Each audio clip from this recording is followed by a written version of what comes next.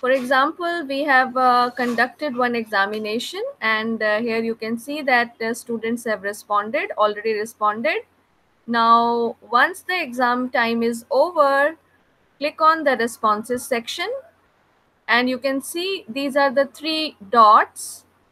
and below that right now it is showing not accepting responses but by default it is set at uh, accepting responses so once the exam time is over what you have to do is turn off this blue button and it will turn into red and uh, now the students would not be able to submit their responses it is so simple so it will appear like not accepting responses.